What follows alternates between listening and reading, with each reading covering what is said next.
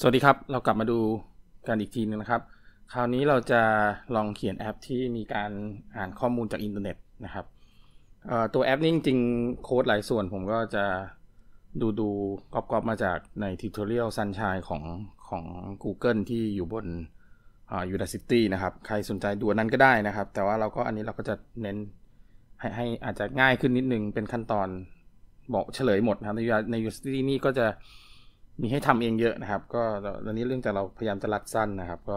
โอเค ทีนี้เราจะค้นอะไรจากในอินเทอร์เน็ตดี ผมก็ลองดูจากหลายที่ครับ สุดท้ายไปไปเจออันนี้ครับพันพันทิปเทรนนะครับ พอเราเข้าเว็บพันทิปแล้วกดปุ่มพันทิปเทรนเนี่ย ก็จะมีการโหลดข้อมูลตรงนี้ ซึ่งเราสามารถดูได้ครับว่า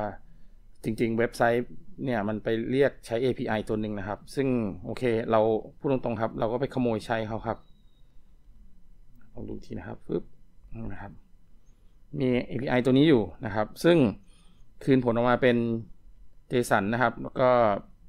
มีข้อมูลพวกนี้ครับว่าแต่ละหัวข้อเป็นอะไรยังไงนะครับ เราก็จะเขียนแอปเราเนี่ยครับเข้ามาแอบเรียกใช้ API ตรงนี้นะครับ ซึ่งแน่นอนเราเราขโมยขโมยใช้นะครับ ไม่ได้ขออนุญาตอะไรมากมาย ก็หวังว่าทางบันทิปจะไม่ไม่ได้ว่าอะไรเรานะครับ แล้วก็มันอาจจะใช้เขาอาจจะปรับเปลี่ยน ต่อไปในอนาคต เพราะนั้นเราก็ต้องนะครับไม่เราไม่ได้ขอเป็นทางการก็ลิงก์มันอาจจะใช้ไม่ได้แต่ว่า เพื่อเพื่อเพื่อทำแบบผ่านนี้คิดว่าตรงนี้ก็น่าจะพอโอเคนะครับโอเคเพราะนั้นเราหลักๆที่เราจะดูหัวข้อกันในวันนี้นะครับ ก็จะเป็นเรื่องการทำแอป Android ที่มีการไปเรียกใช้ข้อมูลจากอินเทอร์เน็ตนะครับ ไปเปิด API ซึ่งซึ่งมีหลายประเด็นที่เราต้องต้องดูเลยทีเดียวนะครับ เพราะว่า ตัวแอป Android เองเนี่ยก็จะมีเรื่องของเทรดในการทำงานประเด็นเรื่องของเทรดซึ่งตรงนี้คงต้องพูดถึงนิดหน่อยนะครับโอเคก็ตัวแอปเราก็จะโชว์เนี่ยครับรายการกระทู้เด็ดนะครับ trending ในในในพันทิปนะครับโอเคเพื่อไม่พี่พี่รีพี่ไรนะครับ ผมก็จะสร้างแอปง่ายๆขึ้นมาก่อนตัวหนึ่งนะครับแอปนี้ก็จะมี มี2อย่างเท่านั้นเองก็คือมีปุ่มนะครับมีมีปุ่มเพื่อที่จะกด refresh นะครับ แล้วก็อีกอันก็จะเป็น list ของกระทู้นะครับ เราจะน่าจะแบ่งเป็น 2 ตอนนะครับ ตอนนี้ก็ตอนแรกก็จะเน้นเรื่องของการอ่านข้อมูลออกมาแสดงตอนที่2เนี่ยก็คือจะเน้นเรื่องการคลิกในลิงก์ใน list view นะครับ แล้วก็ไปดูกระทู้จริง ๆ ในในพันทิปนะครับ ซึ่งโอเคนะครับนั้นก็วันนี้ เราสนใจเรื่องแค่แสดงผลโหลดโหลดมา แล้วก็แสดงผลให้ได้ก่อนนะครับ ก็จะมีเรื่องของการจัดการเรื่อง background การทำงานที่อยู่ในเบื้องหลังนะครับ ซึ่งตรงนี้ก็เป็นประเด็นเหมือนกันนะครับ ก็ไม่ไม่ได้ยากเกินไปนะครับ ก็คิดว่าเดี๋ยวลองทำตามดูน่าจะพอได้นะครับนั่นก็นะครับเราก็จะมีของ2ออย่างนะครับ อันหนึ่งก็จะเป็น มีปุ่มนะครับ กด refresh อีกงานก็จะเป็น text view นะครับ ก็เอาเอาปุ่มมาใส่ก็แล้วกันนะครับครับครับ แล้วก็ android text refresh โอเคอันก็จะเป็น list view นะครับ ซึ่งเราเรียนวิธีใช้ไปคร่าวๆแล้วคราวที่แล้วนะครับแล้ว with ก็เป็น match parent match parent นะครับ เค แล้วก็ใส่ ID ให้มันนิดนึงนะครับก็ Android นี่เท่ากับ add บวก ID นะครับ แล้วก็มันเป็น list view ใช่ไหมครับ ของ topic นะครับ topic list อ่าโอเค ก็ UI เราก็จะมีแค่นี้ครับ ง่ายๆ ตรงไปตรงมานะครับ มีปุ่มกับมีปุ่ม refresh กับปุ่ม list view อ่าตัว list view นะครับ ลอง รันดูนิดนึงนะครับ ว่ามันแสดงผลขึ้นมาได้หรือเปล่านะครับอ่าโอเคนะครับ ก็มีปุ่ม ขึ้นมาเรียบร้อยนะครับ กดแล้วยังทำอะไรไม่ได้อ่าโอเค ทีนี้ก่อนที่เราจะทำอะไรต่อนิดนึงเราไปดูข้อมูลก่อนว่าในตัว API ที่เราจะไปอ่านเนี่ยครับมันมีอะไรให้เราบ้างนะครับ หลักๆก็จะมีเนี่ยครับเป็น array ชื่อ trend นะครับตอนนี้ก็มีรายการ ซึ่งในนี้ก็จะมีหลักๆ ก็จะมี status topic status topic ID แล้วก็ display topic มีอะไรพวกนี้ ก็เยอะเยอะนะครับ เราหลักๆ เราจะสนใจที่จะเก็บแค่ตัว title นะครับ ก็คืออันนี้ชื่อ topic แล้วก็ topic ID เพราะว่าเดี๋ยวตรงนี้จะเป็นน่าจะเป็นลิงก์ให้ไปเปิดตัวตัวกระทู้อ่านนะครับ ที่เหลือเราคงยังไม่เก็บนะครับ เพราะฉะนั้นขั้นแรกที่เราจะทำก็คือเดี๋ยวก่อนที่เราจะไปอ่านข้อมูลจริงๆเนี่ยเราจะสร้างโมเดลไว้เก็บตัว topic ตรงนี้ก่อนนะครับ ก็ ไปสร้างโมเดลกันก่อนเลยครับ ยังไม่ได้เขียนโค้ดอย่างอื่นเลยนะครับ ก็สร้างโมเดลครับ เราก็สั่ง new เพราะว่าของที่ใช้เก็บข้อมูลต่างๆ เราก็จะจะเก็บไว้ในโมเดลตัวนี้นะครับ Java class นะครับ ก็เป็นชื่อ topic นะครับ แล้วก็ different models ทีนี้ใน topic จะมีอะไรบ้าง เราก็จะมีเป็น int ใช่ไหมฮะท็อปชื่อท็อปิกเป็น id แล้วกัน id นะครับอันนี้อาจจะตรงกับชื่อตัว id ของใน Java เราตั้งชื่อเขียนให้ชัดเจนแล้วกันชื่อ topic id แล้วก็ string นะครับ อันนี้เป็นอะไร title แล้วกันนะครับ ซึ่งเราก็จะไปเอามาจากในตัวข้อมูลที่เราอ่านมาจาก JSON เนี่ยนะครับ this topic นะครับ display topic นะครับ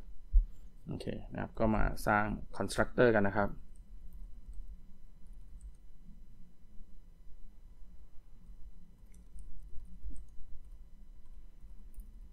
Python นะครับ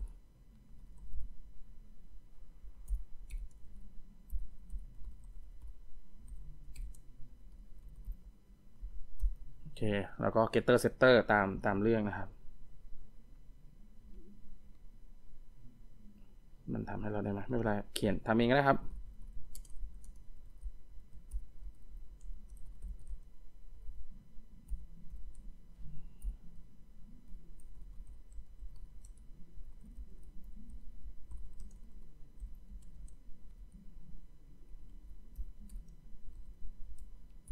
แล้วก็ public string get title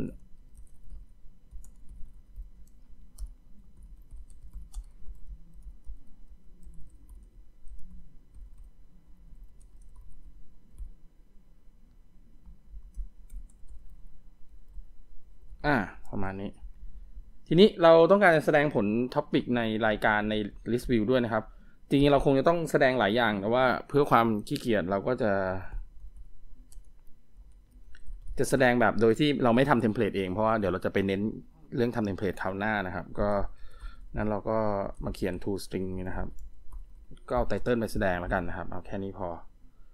นั้นตัว topicเราก็มีแค่นี้นะครับ ทีนี้ อะโอเค อันนี้ถือว่าเสร็จไปนะครับ เรามาดูประเด็นหลักของเราวันนี้ครับ เราต้องการจะทำอะไรบ้างครับ เราต้องการจะไปโหลดข้อมูลนะครับ จาก จากเว็บพันทิปนะครับมาที่แอปเรานะครับ ทีนี้การทำงานของซอฟต์แวร์ใน Android เนี่ยนะครับ มันจะทำงานเป็นแบบอย่างนี้ครับ ใน Main Activity เราก็จะเขียนเมธอดเพื่อจะรองรับเหตุการณ์ต่างๆ เช่นกดปุ่ม refresh แล้วก็จะทำนู่นทำนี่นะครับ ทีนี้ตัวแอปพลิเคชันหลักของเราเนี่ย ก็จะทำงานอยู่อยู่มี process อยู่หนึ่งอัน เสร็จแล้วตัว thread หลักที่ใช้ทำงานของเราเนี่ยก็จะจัดการเรื่อง UI เป็นหลัก พอเรากดปุ่มปุ๊บทำไอ้นี่มันก็จะกระดุกกระดิกไปตามเรื่องนะครับ ทีนี้การจัดการ UI เนี่ยมันไม่ได้มีเฉพาะเหตุการณ์ที่เราเราเราเขียนโปรแกรมรองรับ เช่น ถ้าเรามี list เนี่ยหน้าจอขยับนู่นขยับนี่เนี่ยเอ่อมันก็ต้องมีการทำงานไปด้วย แต่ถ้าเกิดเราทำงานในสเต็ปบางอย่างเนี่ยนานนะครับมาทำให้โค้ดส่วนอื่นๆเนี่ยอาจจะมีปัญหาตามไปด้วยได้นะครับ ซึ่งเดี๋ยวเราลอง ดูตัวอย่างกันเลยดีกว่านะครับ เดี๋ยว เราจะทำการทดลองคร่าวๆง่ายๆ ตรงนี้นิดนึงนะครับงั้นเดี๋ยวเปิดมาเนี่ยผมจะเอาข้อมูลใส่ใน list view เป็นท็อปิกง่ายๆมั่วๆขึ้นมาก่อนสักใส่ห้าหกอันนะครับ เราจะได้พอพอเห็นภาพแล้วทดลองเรื่องของอการทำงานไอ้เรื่องที่ UI thread อะไรตรงนี้ได้นะครับ ก็มามาลองดูกันนะครับโอเคตรงนี้ก็เราก็จะมาเขียน ถ้าจำได้นะครับเราก็จะเขียนอันนี้ครับ load topic trending topics การเขียนชื่อเมธอดนี้แล้วกันนะครับ โอเค load trending topic นะครับ เราก็จะมีของ2ออย่างครับ อันนี้ก็จะเป็น private array list ของ topic นะครับ ชื่อว่า topics แล้วกันนะครับ แล้วก็อันนี้ private array adapter นะครับ ถ้าจำได้นะครับของ topic นะครับ ชื่อ topic adapter นี่แล้วกันนะครับ ซึ่งในการโอเคทีนี้ตัว topics เมื่อเริ่มต้นใช่ไหมฮะ เราก็จะให้เท่ากับ new array list นะครับของ topic แล้วก็ topic adapter ก็เท่ากับ new array adapter ของ topic นะครับ ทีนี้ต้องระบุอะไรบ้างจำได้ไหมฮะ context ก็คือ activity ก็คือ this นะครับ layout อันนี้เราใช้ของ Android เลยนะครับ dot r dot layout dot simple list item ก็เอาของเขามาใช้เราจะได้ไม่ต้องเขียนเองนะครับ ซึ่งเราจะแสดงข้อข้อความทั่วไปละถ้าพอจำได้ทำตรงนี้เสร็จปั๊บ เราก็ต้องไป assign นะครับ ตัว list view นะครับเราก็สั่ง list view สังเกตว่าชักยาวแล้วนะครับ เราก็เราเขียนเมธอดใหม่แล้วกันนะครับ init list view นะครับโอเค เราย้ายนี่ไปไว้ใน init list view เลยแล้วกันนะครับ สร้าง list ปุ๊บ โอเคแล้วเราก็เอา list view มานะครับ อันนี้ของเดิมเลยนะครับเท่ากับ เราก็ต้องไปเอาของกลับมานะครับ จะหา view ก็อย่าลืมครับทำไงไฟล์ view by id นะครับ ก็ r.id list view topic list อ่าโอเค เราก็สั่ง list view dot set adapter นะครับ ก็ topic adapter อ่าเป็นอันใช้ได้นะครับ ทีนี้ คราวที่แล้วเนี่ยเรายังไม่ได้ลองเล่นอะไรเกี่ยวกับกับอะแดปเตอร์มากมายนะครับ จริงๆ เราสามารถเพิ่มของลงไปในอะแดปเตอร์ได้โดยตรงเลย ถ้าเราสั่ง add ลงไปในอะแดปเตอร์เนี่ยมันก็จะเข้าไปที่ตัว array list ด้วย แล้วก็ไปโชว์ในในใน list view ด้วยเลยนะครับนั้นผมก็จะอย่างนี้เลยนะครับอ่า topic เบอร์หนึ่งชื่อ หัวข้อหนึ่งแล้วกันนะครับ ประมาณนี้ ใส่ไปสักอ่า สิบอันแล้วกันนะครับ เขียนรูปแล้วกันนะครับนะเอาสักสามสิบอันแล้วกันครับท็อปิกก็เป็น i บวกหนึ่งหัวข้อบวก i บวกหนึ่งแล้วกันครับเอาตรงอย่างนี้เลยนะครับ เดี๋ยวเราลองเขียนนี้ก่อนนะครับ อันนี้ของเดิมเลยนะครับ คิดว่าคงพอจะจำได้นะครับ ก็คือเราเราจะใช้ list adapter นะครับ ถ้าใครงงจำไม่ได้ก็อย่าลืมกลับไปดูคลิปเก่าได้นะครับลองรันดูนิดนึงนะครับ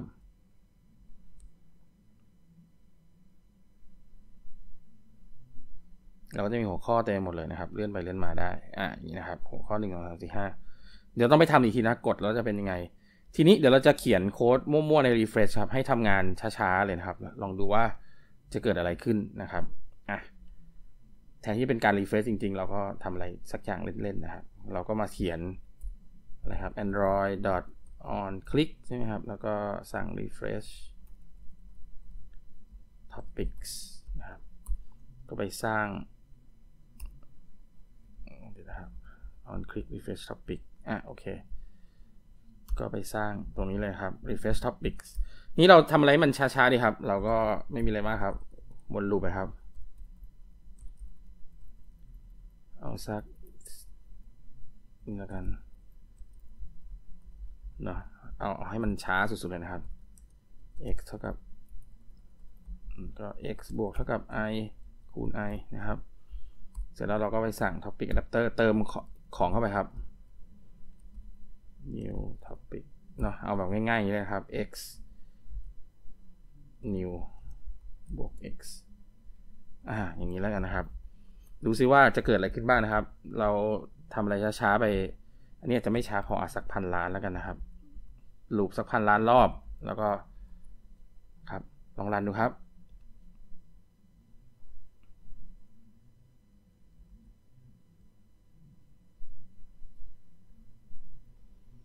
นี้เราเลื่อนไปเลื่อนมาได้นะครับ กด refresh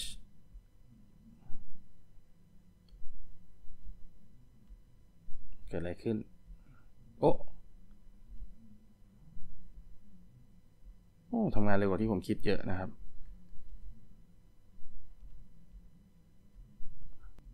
เดี๋ยวนะครับ ต้องทำอะไรที่มันช้ากันนี้หน่อยครับ เดี๋ยวจะขอแก้เพิ่มครับ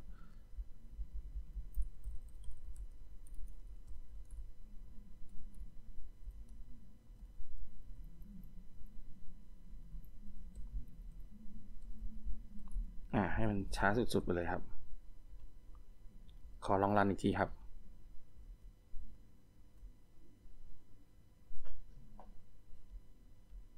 สั่ง refresh สังเกตว่าตอนนี้ผมขยับหน้าจอไม่ได้แล้วนะครับ แอปก็แฮงไปเลยนะครับ เพราะว่าเพราะอะไรครับ เพราะว่าเนี่ยครับก็มันจะขึ้นเนี่ยครับพันทิป trend isn't responding เพราะว่าตัว refresh topic เนี่ย มันทำงานนานเกินไปครับ เดี๋ยวลองโอ้ตายไปเลยนะครับ เกิดอะไรขึ้นนะครับ ระหว่างที่เราทำ พอเรากดปุ่มปั๊บนะครับเมธอดนี้จะถูกเรียกให้ให้ให้ทำงานใช่ไหมครับแต่ว่ามันทำงานนานครับ เพราะฉะนั้นตัวเทรดหลักของแอปเราซึ่งดูแลเรื่อง UI เนี่ยก็จะไม่มีเวลาไปทำอย่างอื่นเวลาเลื่อนปุ่มเลื่อนอะไรต่างๆเนี่ยมันก็จะไม่มีเวลาเพราะนั้นแอปก็จะค้างไปเลยแฮงแฮงไปนะครับ นิ่งไปเลยนะครับ เพราะฉะนั้นสมมุติว่าถ้าเกิดเราทำแอปเพื่อที่จะมีการไปเรียกอ่านข้อมูลจากอินเทอร์เน็ต ซึ่งอาจจะใช้เวลานาน การที่เราสั่ง ทั้งหมดไว้ในเมน UI thread เนี่ย มันจะทำให้ตัวแอปเราค้างได้ พอแอปค้างปุ๊บคนก็ปิดปิดเสร็จก็ทุกอย่างก็จบนะเพราะนั้นตรงนี้ก็เลยเป็นที่มาที่ว่าเราเราจำเป็นต้องใช้วิธีอื่นละในการจะ refresh topic คือเราจะไม่สามารถจะสั่ง ถ้านึกถึงโค้ด Java ทั่วไป เราจะไม่สามารถจะสั่งว่า โอเคอ้าว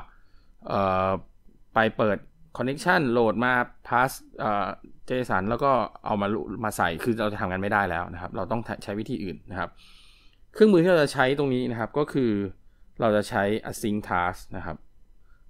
ตัว async task เนี่ยทำงานยังไงนะครับ ถ้าเรามาดูเอกสารจากใน Android เนี่ยมันจะมันจะให้เราพอเห็นภาพมากขึ้นนะครับ ตัว async task เนี่ยหลักๆคือมันให้เราเอาไปทำงานในแบ็กกราวด์ได้นะครับ มาดูรูปจากจากเว็บนี้แล้วกันนะครับ จริงๆ ถ้าดูรูปรูปนี้น่าจะพอเห็นภาพนะครับ ก็คืออพอเราสั่งรันตัว async task นะครับ ตัวงานหลักๆเราเนี่ยจะถูกมันจะมีเมธอดที่เราต้องไปเขียนเช่น pre execute นะครับ post execute อะไรเป็นจริง ๆ เราก็เขียน post execute เป็นหลัก แล้วก็ดู in background เป็นหลักนะครับตัว PXQ เนี่ยถูกรันใน main thread เสร็จแล้วมันจะถูกตัวระบบจะแตก thread ออกมา ให้เราทำงานใน background ได้ก็จะมี method ดู in background ให้เราทำนะครับ เสร็จแล้วออพอทำงานเสร็จปั๊บพอเราคืน result ออกมาปั๊บนะครับ ตัว method ชื่อ on post execute เนี่ยจะถูกทำเรียกเรียกทำงาน แต่ว่าจะถูกมาเรียกอยู่ใน UI thread ละนะครับสาเหตุที่ต้องเป็นอย่างนี้เพราะว่าในตัวโค้ดของ Android เองเนี่ยมันไม่ใช่ thread safe ครับก็คือว่า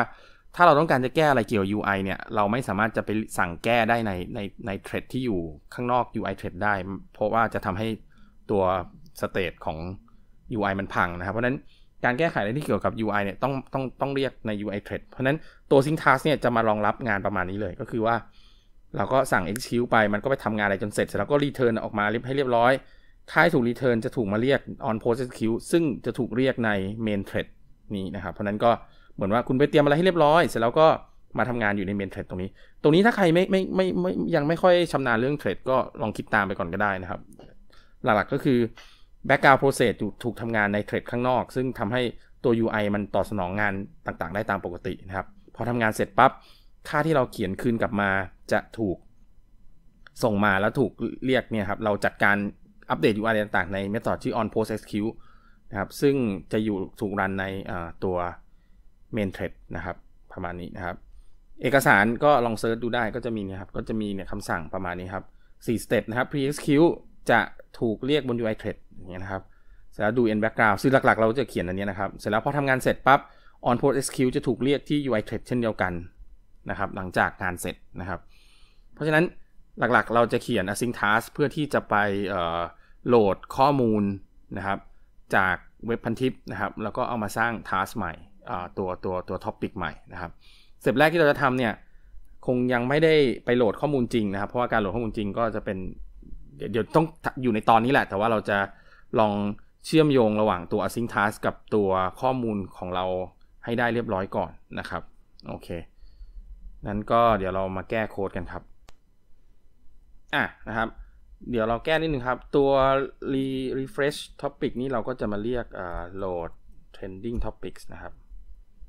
ไม่มีอะไรมากนะครับฉะนั้นในโหลด training topic เนี่ยเราจะสร้าง async task ขึ้นมา ถ้าเราไปดูเอกสาร async task นะครับ ก็ มันอาจจะดูน่าตื่นเต้นนิดนึงเพราะมันจะมีพารามิเตอร์หลายตัว param progress result อะไรประมาณนี้นะครับ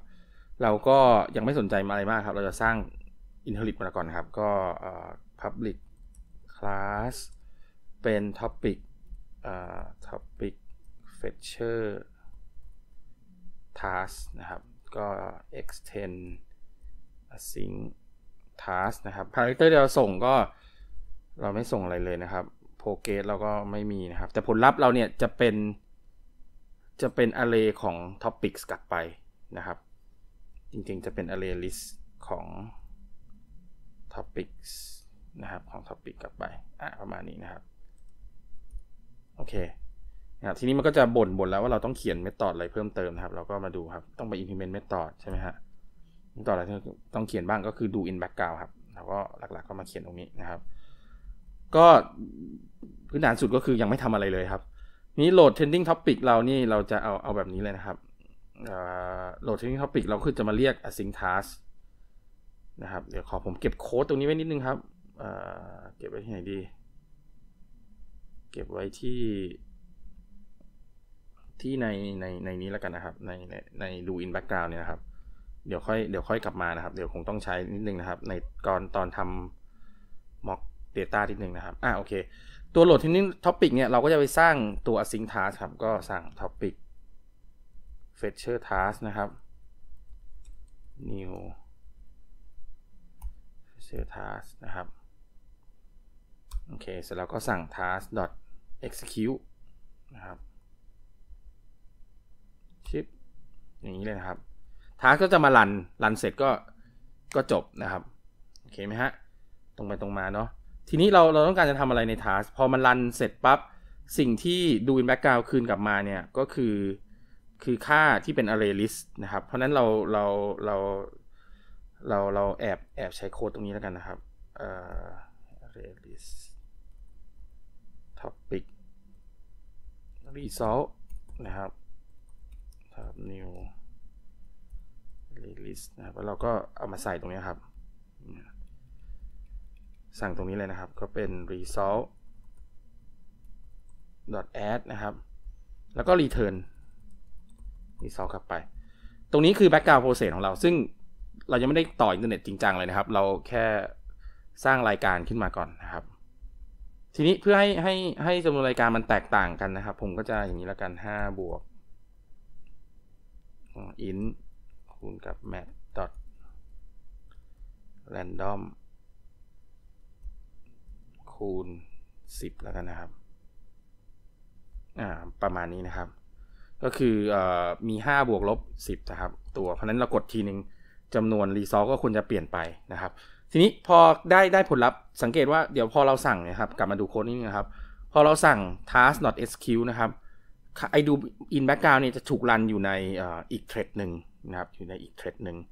เสร็จแล้วพอทำงานเสร็จปั๊บนะครับ มันจะไม่เรียกเมธอดชื่อ post execute นะครับ เราก็เขียนได้ครับ override นะครับ public มันต้องเป็น public หรือเป็น private นะครับ ดูนิดนึงครับ ขออนุญาต protected อะโอเค protected void นะครับ on post execute แล้วเราก็รับอันนี้มาครับ array list ของ topic นะครับ result มา ทีนี้เราก็เอาอันนี้นครับ ไปใช้นะครับ ทีนี้เราจะไปใช้ยังไงครับ สังเกตว่านี้ถูกรันอยู่ใน UI thread แล้วนะครับ เราก็จะไปอัปเดตตัว list adapter ได้เลยนะครับ เราก็สั่งไงครับ topic มันอาจจะบึ้มด้วยนะครับ เพราะนั้นเราก็อาจจะเช็คนิดนึงครับ if result ไม่เท่ากับ none นะครับ results ไม่เท่ากับนั้นนะครับ เราถึงจะทำนะครับ เราก็อะไรนะ topic adapter clear ก็ล้างค่าไปนะครับ แล้วก็แล้วก็มาไล่ดูนะครับ topic t ใน result เราก็สั่ง topic adapter add t เข้าไปนะครับ มันก็จะผลลัพธ์นี้ก็จะถูกเอาไปเอาเอาเอาเอาไปเซฟอยู่ในใน list ของเราแล้วนะครับ เพราะฉะนั้นย้อนกลับไปดูนิดนึงครับ เราเราทำสองอย่างนะครับ คือเปิด async task แล้วก็สั่งรันนะครับ ใน async task ดู in background จะถูกทำในอีกเทรดหนึ่งพอทำงานเสร็จปับ๊บค่าที่เราสั่ง return ตรงนี้จะถูกส่งมาที่ post execute post execute จะถูกรันอยู่ใน UA thread ซึ่งทำให้เราสามารถ edit ตัวตัวของที่เกี่ยวกับ UI ได้นะครับ อะ ลองรันนิดนึงครับ ดูซิว่าจะบึ้มหรือเปล่านะครับ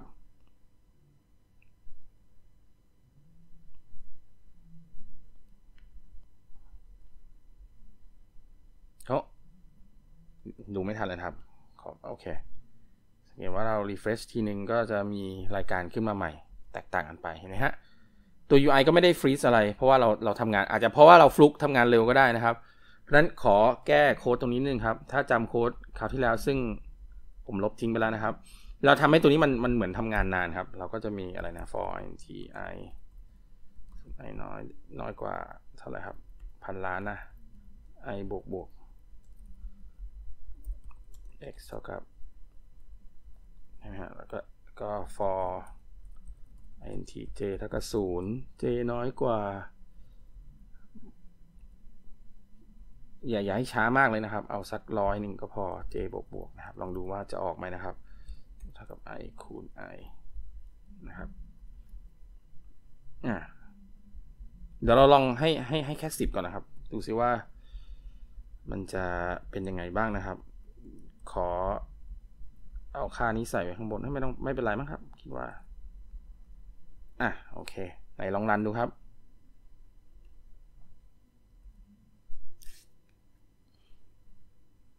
นี่สังเกตว่ามันมันยังไม่ขึ้นนะครับ สุดท้ายก็จะขึ้นไหมสึกจะนานไปหน่อย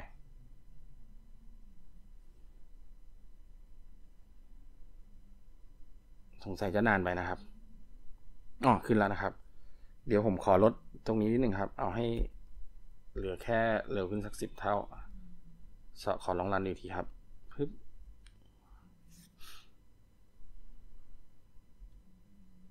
นี่ครับ สังเกตว่าเราเราก็ยังกดพวกนี้ได้ปกตินะครับ พอ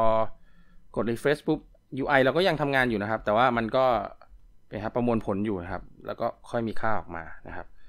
ผมจะใส่ให้ให้เยอะนิดนึงนะครับ จะได้เห็นว่ามันมันทำงานได้จริง ๆนะครับ ตอนนี้ก็ขยับได้ทุกอย่างปกติใช่ไหมครับ แล้วก็มีของมายาวๆ พอเรากด refresh ทีนึงปุ๊บ ตรงนี้ UI Trade ก็ยังทำงานอยู่เห็นไหมฮะ แต่ว่าถ้ามันอัปเดตเสร็จแล้วปุ๊บ ก็จะมีเอ่อตกลงมันเสร็จหรือยังนะ 56 ขอขอขออีกทีนะครับอ่าเหลือแค่ 50 อย่างนี้เป็นต้นนะครับ เก็บว่า UI thread เราก็ยังทำงานได้อยู่ แล้วก็ background thread เราก็ยังทำงานได้อยู่ เพราะฉะนั้นพาร์ทที่เกี่ยวกับ async task น่าจะประมาณนี้นะครับ นี้ความยากถัดไปก็คือเราจะไปเปิด Internet Connection แล้วก็สร้างตัว Topic มามาได้ยังไงนะครับ ตรงนี้หลักๆก็ไม่ไม่ไม่ค่อยเกี่ยวกับ Java จะเอ่อ Android มากแล้ว ก็จะเป็นเรื่องของ Java แทน เราก็ต้องดูวิธีใน Java ว่าจะเปิด Connection ยังไง สร้าง JSON ยังไงแล้วก็สร้างตัวเอ่อแกะ JSON ยังไงแล้วก็สร้างตัว Topic ยังไงนะครับ ประมาณนี้นะครับอะแต่ก็ยังมีของเกี่ยวข้องอยู่ครับ เพราะว่า Android จะมีเรื่องของ permission นะครับเพราะเพราะนั้นเราเดี๋ยวลองลองมาดูครับนั้นโค้ดดู in background ตรงนี้ผมก็จะจะลบทิ้งไปก่อนนะครับ เราจะทำของของสองสองอย่างนะครับ ถ้าตามขั้นตอนนี้นะครับ อันแรกก็คือไปโหลด JSON มานะครับ ก็จะเป็นเอ่อ topic list JSON str นะครับ นี่ก็คือจะเป็นขั้นแรกคือจะไปโหลดตัวโหลด topic list นะครับ ด้วยอะไรก็ว่าไปนะครับ เสร็จแล้วเราก็จาก topic list เนี่ย เราก็จะมาแกะ pass json นะครับเห็นไหมครับ ก็จะมี 2 ขั้นตอนตรงนี้เป็นหลักนะครับ โอเค แล้วก็คืน result กลับไป พอคืนเสร็จปั๊บทุกอย่างก็จะจะได้เรียบร้อยแล้วนะครับ ที่โหลด topic list นะครับ เราก็จะผมก็จะเขียนเป็นเมธอดไว้เลยนะครับ อยู่ในนี้แหละครับ ก็คือจะเป็นเท่ากับโหลด topic json แล้วกันนะครับ ใช้ชื่อนี้แล้วกันนะครับ ก็สร้างเมธอดขึ้นมาเลยนะครับอออยู่ในคลาสนี้แล้วกันนะครับ อันนี้ แล้วก็ตัว extract ก็คือถ้า if topic json ไม่เท่ากับ none นะครับ ก็ extract มานะครับในอย่างนี้ก็ถ้าเท่ากับ none ก็ return เลยครับ ก็คือบึ้มโหลดไม่ได้อะไรก็ว่าไปนะครับ ไม่งั้นก็จะแกะจะแกะ json เอานะครับ แล้วก็มาสร้างเป็น topic นะครับ โอเคเนาะตามนี้นะครับ ก็มาเขียนอันแรกครับโหลด topic JSON นะครับ เราก็ต้องสร้าง connection นะครับ ทีนี้ใน Java เราจะสร้างพวกนี้ยังไงนะครับ ก็ต้องไป search search ดูครับ ผมก็ลอง search ดูบ้างครับ จะเปิด URL connection ยังไงอะไรเงี้ยครับก็เนี่ยครับมีโค้ดอยู่ในเว็บ Oracle นะครับ เราก็ไปขโมยมาแล้วกันนะครับ มันจะมี exception นะครับ เพื่อเพราะนั้นถ้าไม่ไม่ไม่อยากจะบึ้มมาก เราก็ต้องมาเขียน try catch นิดนึงนะครับนั่นก็ผมก็ไปขโมยมาแล้วก็ try ทิ้งไว้เลยนะครับโอเค import URL import URL นะครับ new URL ซึ่งอันนี้ก็คือจะเป็น URL ที่เราไปขโมยมาจาก เว็บพันทิปเมื่อสักครู่นี้นะครับ ก็คืออันนี้นะครับ copy URL มานะครับ นี่อันนี้นะครับ เสร็จแล้วเราก็มาเปิด URL ตรงนี้นะครับ โอเค นั่นก็คือพันทิป URL นะครับ เป็นอันนี้ URL connection import class มานะครับ ก็เป็นพันทิป open connection นะครับ แล้วก็ new input stream reader นะครับ นี่ก็เป็นอะไรนะ connection นะครับ พันทิป connection คอนแล้วนะครับ connection จะยาวไปนะครับ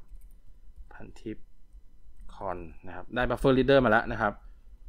เราก็ลุยไปรัวๆเลยครับ เราก็สั่ง string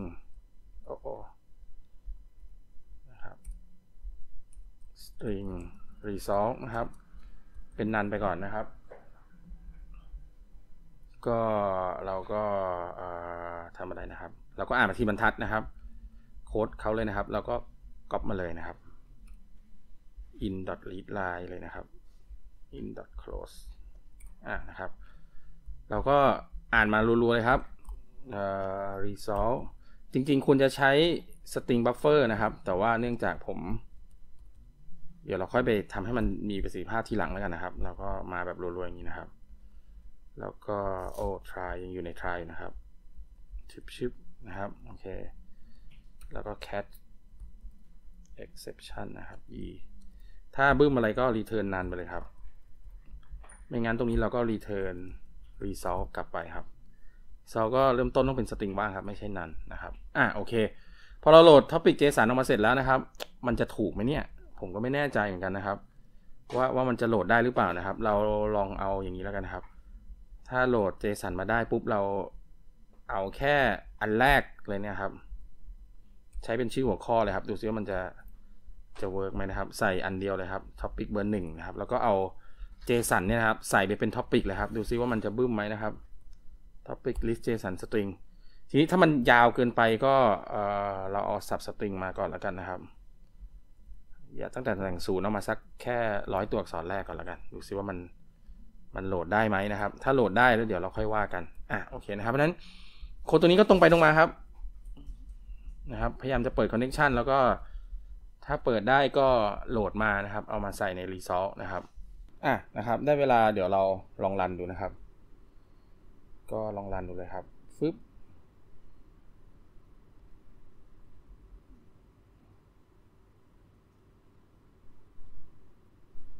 ก็ไม่เกิดอะไรขึ้นไม่มีปัญหาเลยนะครับ จริง ๆ ควรจะมีครับเอ่อโอเคครับ ในการอัดรอบแรก ผมก็หาไม่เจอครับ ตอนนี้เราหาเจอแล้วครับ จริง ๆ เราใส่ exception มากไปครับ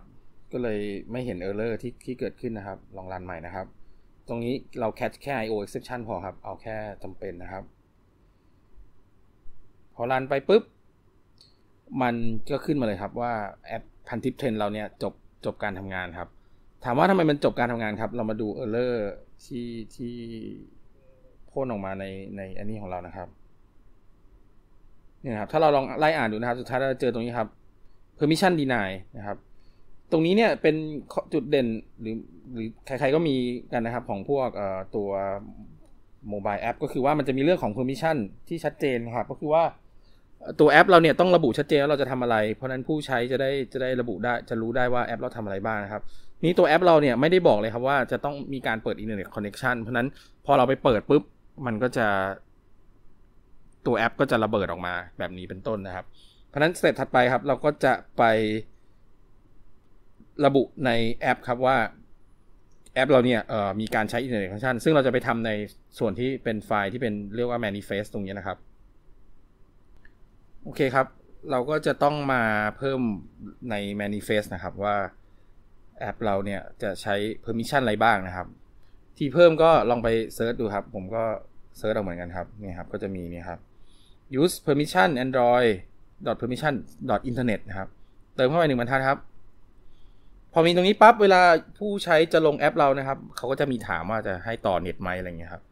แต่ในตัวแอปที่เราเลงแบบเขียนบนนี้มันก็จะบังคับลงให้เลยนะครับ แล้วลองดูครับว่ามันจะใช้ได้ไหมนะครับ อะมาแล้วนะครับ เพราะนั้นหัว หัวของเทรนมาแล้วนะครับ เพราะนั้นเราโหลดค่ามาได้แล้วครับ ก็เหลืออีกประมาณหนึ่งขั้นเท่านั้นเองนะครับ ที่เราจะต้องมาแกะตัว แกะตัว JSON ตรงนี้นะครับอ่าโอเค เพราะนั้นก็ไปได้ครึ่งค่อนทางแล้วนะครับ นี้เราก็จะแกะ JSON ครับนี้จะเอาอยัางไง จะแกะยังไงครับ ก็จะมีใน Java ก็จะมีคลาสจัดการเกี่ยวกับ JSON หลายตัวนะครับ JSON Object ครับ ตัวนี้นะครับ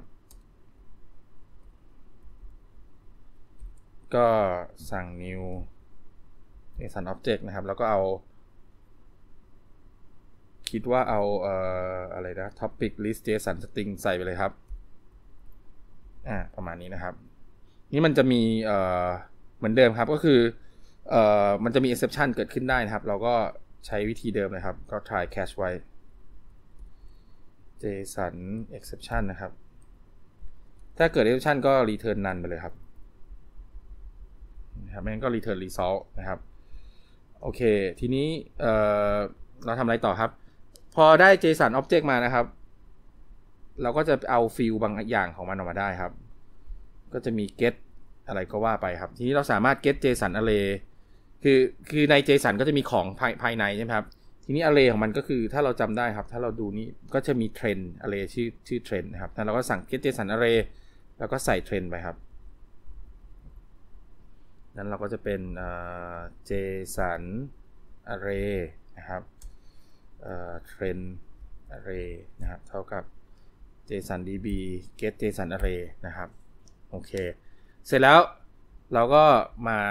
นั่ง extract แต่ละอันเลยครับ ผมผมก็ for i เท่ากับศูนย์ i less than trend array dot มีอะไรบ้าง length นะครับ i บวกบวกนะครับ พอเราก็จะไปเอา JSON แต่ละตัวมานะครับ ก็จะเป็น topic อ่าก็จะเป็น JSON object อีกนะครับ JSON object topic JSON เท่ากับ trend array dot get ตัวที่ i มานะครับ โอโอทำไมเออเลอร์เนี่ย JSON object เนี่ยนะครับถึง array dot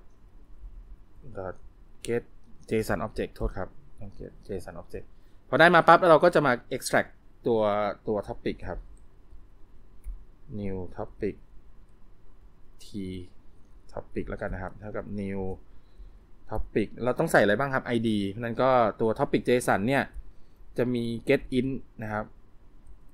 ก็ถ้าเราไปดูมันจะมีอะไรครับ topic id นะครับ เราก็ใส่ไป topic id นะครับ อีกอย่างที่เราต้องใส่ก็คือ topic json dot get string นะครับ อันนี้ชื่ออะไรครับ dis disp object นะครับ disp topic นะครับ display topic พอได้นี้ปั๊บเราก็สร้าง topic มาได้แล้ว เราก็ไปใส่ใน result add topic อ่านะครับ ตัวนี้ก็เป็นการ extract JSON นะครับ ลองรันดูนะครับ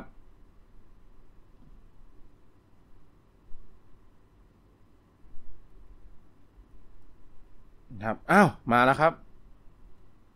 สันมากครับ โหลดมาได้แล้วครับ โอ้โห อย่างยาวนะครับ ก็คิดว่าตอนนี้น่าจะพอหอมปากหอมคอครับ ยาวนิดนึงนะครับ ก็โดยสรุปครับ ขอสรุปนิดนึงครับ ว่าเราทำอะไรกันบ้างนะครับ หลักๆ ถ้าเกี่ยวกับ Android ก็คือเราดูเรื่องของตัว async task นะครับ async task ก็คือจะเป็นการสร้าง background process ซึ่ง เราจะเขียน method ที่ที่ว่า do in background ตรงนี้ อาจจะทำงานนานหน่อยก็ได้ อันนี้ถูกรันใน thread ข้างนอกนะครับ เพื่อทำให้ UI thread เราสามารถทำงานได้ตามปกตินะครับพอรันเสร็จปั๊บ จะมี method ชื่อ on post execute ถูกเรียกอยู่ใน UI thread ทำให้เราสามารถแก้ไขข้อมูลใน UI ของแอปพลิเคชันเราได้นะครับ เนื่องจากใน Android ตัวเทรดของ UI เทรดเนี่ยมันไม่ใช่เทรดเซฟเพราะนั้นก็คือต้องไปรันใน thread ของมันเท่านั้นไม่งั้นอาจจะพังได้นะครับ ทีนี้อันนั้นคือเรื่องของ Android นะครับ ทีนี้การอ่านค่าตอนนี้เราใช้วิธีแบบป่าเถื่อนมากบ้านป่าเมืองเถื่อนมากเปิด URL connection เลยนะครับนี้ทำตรงนี้ได้เนี่ยเราต้องออประกาศ permission ก่อนว่าจะใช้อินเทอร์เน็ตนะครับพอเราไปเอาอ่านมาเสร็จก็อ่านได้เสร็จแล้วก็มาแกะ JSON ซึ่งเราก็ใช้คลาสทั่วไปของ JSON ของ Java เนี่ยนะครับ JSON object ตรงนี้มาแกะแล้วก็สร้าง topic โยนใส่เข้าไปนะครับ return กลับมาปุ๊บ โค้ดเราก็เอาไปใส่ใน adapter นะครับตัว adapter ก็เอาไปแสดงใน list นะครับ นะครับขั้นตอนคร่าวๆประมาณนี้นะครับ เรื่องที่เราเรียนก็มี 3-4 เรื่องตามนี้นะครับ เดี๋ยวเราจะเขียนต่อนะครับ โดยให้มันไปกดไปคลิกไปอ่านได้อะไรได้ ซึ่งจะเป็นประเด็นของตอนถัดไปครับ ตอนนี้ก็ไว้แค่นี้ครับ ขอบคุณมากครับ สวัสดีครับ